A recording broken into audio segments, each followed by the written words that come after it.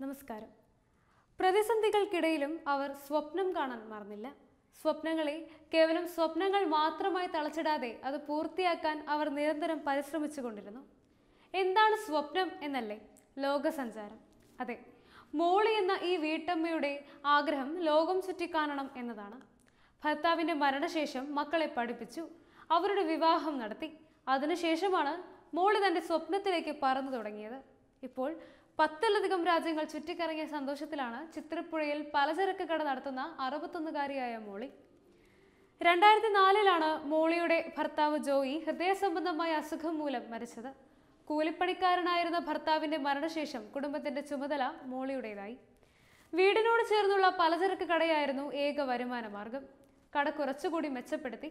ഇടറോഡിൽ അന്ന് കൂടുതൽ കടകൾ ഇല്ലാതിരുന്നതിനാൽ നല്ല കച്ചവടം കിട്ടി നാട്ടുകാരുടെ പിന്തുണയും. രണ്ടായിരത്തി പന്ത്രണ്ടിലാണ് ആദ്യ യാത്ര യൂറോപ്പിലേക്ക്. Germany France Italy Switzerland Vatican തുടങ്ങി യൂറോപ്പിലെ വിവിധ രാജ്യങ്ങൾ കറങ്ങി തിരിച്ചെത്തി.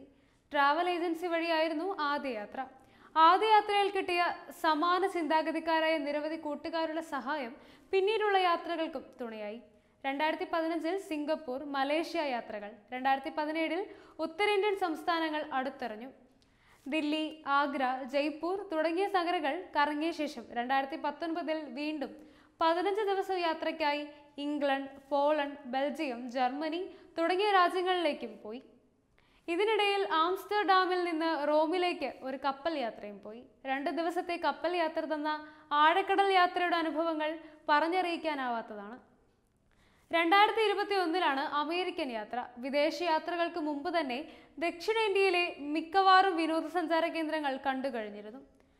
പ്രാദേശികമായ വിനോദയാത്രകൾക്ക് ഒപ്പം പോയാണ് മോളി യാത്രകൾ തുടങ്ങുന്നത്.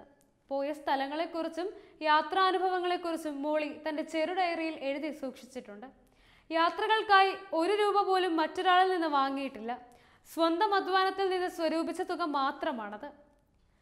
പത്ത് ലക്ഷത്തോളം രൂപ ഇതുവരെ യാത്രയ്ക്കായി ചിലവഴിച്ചു. Web desk Tatwamayi news